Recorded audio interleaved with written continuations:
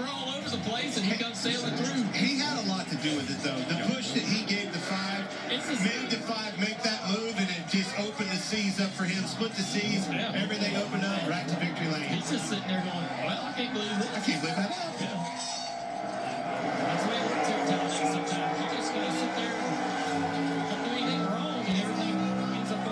Yeah.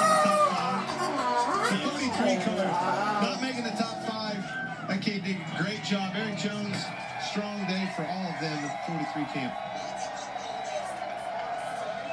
Chevrolet, five of the top seven spots.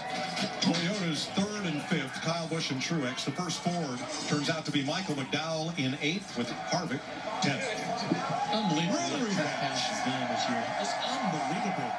I never would have thought that they would have came into the sport and had this type of success.